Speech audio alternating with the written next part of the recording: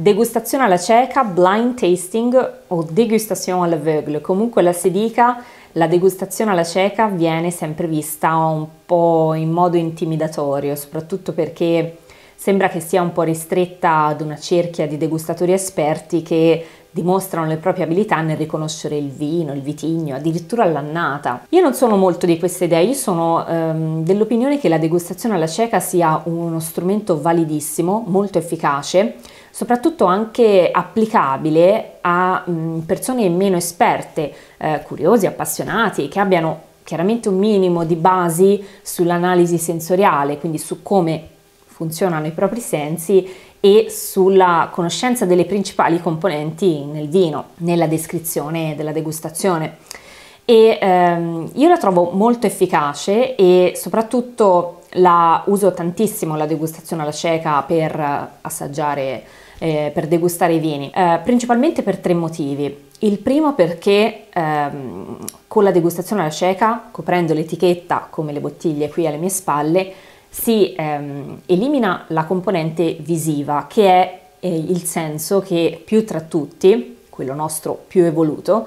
ci influenza nelle scelte, nelle preferenze, quante volte ci viene da annotare l'etichetta di una bottiglia, no? o quante volte eh, abbiamo aspettative alte quando do- vogliamo degustare un Brunello, un Barolo, quindi il prestigio della denominazione. In questo caso, coprendo l'etichetta, eliminiamo questa componente e cerchiamo di gestire quella che è la componente soggettiva sul pregiudizio. E un po' i famosi bias cognitivi che ce li abbiamo nella vita in tutti i campi di applicazione possibili, ce li abbiamo ahimè anche nel vino perché purtroppo ci facciamo delle opinioni eh, sbagliate in partenza perché partono proprio da un uh, giudizio, un'opinione sbagliata fondata eh, su quel determinato vino. E un altro motivo perché la ritengo molto efficace è perché la degustazione alla cieca ha una centralità sui nostri sensi olfattivo-gustativi quindi effettivamente siamo forzati a riconoscere e a attivare molto di più eh, il nostro olfatto e il nostro gusto. La terza eh, cosa, la terzo aspetto che eh, mi affascina molto della degustazione alla cieca è che non ha regole, che è anche l'aspetto che un po' fa perdere un po' in un bicchiere d'acqua. Ma penso che sia molto importante perché le regole le possiamo stabilire noi e quindi una degustazione alla cieca può essere organizzata eh, secondo tematiche e secondo degli schemi, dei criteri attraverso i quali vogliamo indagare su delle componenti particolari nel vino oppure vogliamo indagare sui nostri sensi, sulla nostra sensibilità. Facciamo degli esempi. Sicuramente la degustazione alla cieca va organizzata ehm, facendosi delle domande, cioè eh, che cosa stai cercando in particolare in questo vino o qual è la componente che interessa, ti interessa risaltare in un determinato vino. Sicuramente mh, mm, senza stare a giocare, indovinare il vino, il vitigno o altro, si può tranquillamente eh, farla e condurla da soli una degustazione alla cieca. È ovvio che il confronto con altre persone è sempre utile, ma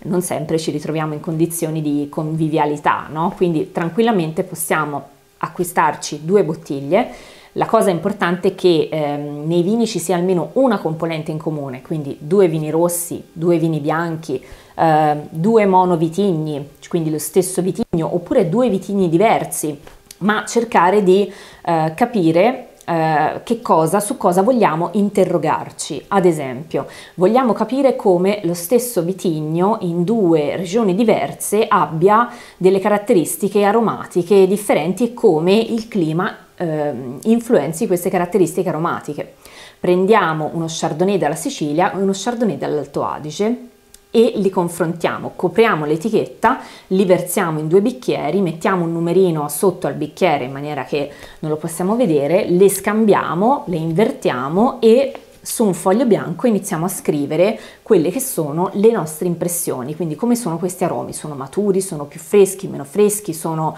eh, di frutta tropicale, di frutta più citrica, ci sono gli agrumi o meno, com'è l'acidità, è più alta in uno e più bassa nell'altro, quindi ragionare sempre sul confronto. Per questo è importante la degustazione comparativa basata su due vini. Sui vini rossi, ad esempio, ci possiamo interrogare sui tannini, quindi prendendo due vitigni differenti, che è molto utile, prendiamo un vitigno con tannini più bassi come eh, il Pinot Nero e un vitigno con tannini più eh, massicci come ad esempio un aglianico e cerchiamo di capire la natura di questi tannini eh, e cerchiamo di capire come effettivamente riconoscerli, se siamo in grado di riconoscerli. Non sempre succede, possiamo essere veramente tratti più di una volta in inganno. Quindi porsi sempre delle domande e soprattutto non importa giocare a indovinare il vino o il vitigno, ma più che altro è importante capire che tipo di domande eh, porsi quando ci si approccia a una degustazione alla cieca.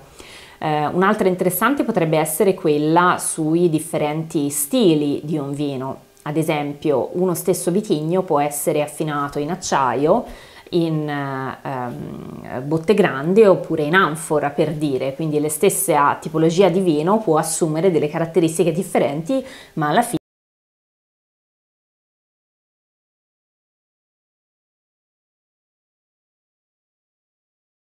ad un denominatore comune. Quindi come vedete ci sono tante possibilità di spaziare all'interno della degustazione alla cieca e soprattutto non importa essere dei grandi espertoni. Calici su.